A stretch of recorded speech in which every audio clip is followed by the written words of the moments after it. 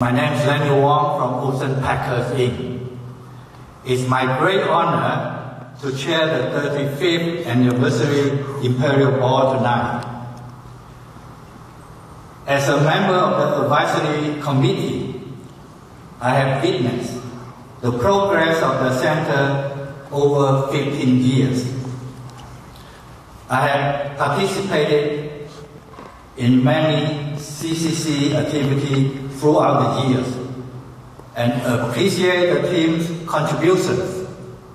I'm impressed with the volunteers, members, and directors working so hard for this legacy organization.